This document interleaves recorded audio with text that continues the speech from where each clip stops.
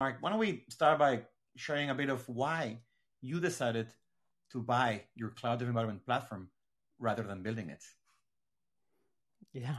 Um, I mean, I think you're right with those different topics. Those are like they all came into the conversation for us, you know, and you know, in in in full context, like we we didn't go from nothing to switching to like adopting Okteto. We we actually did have a couple uh instances in you know the previous iterations of our cloud native dev environment that we had built ourselves and we're and we're operating and you know running into some challenges that I think you know we'll dig into as as we go. Um, a lot of them really just around uh, you know the the effort that we were putting into maintaining it when it was you know a critical component that we needed right? Like all of our engineers you know we want something that works and they can they can iterate and they can ship really quickly. That they shouldn't be getting in their way.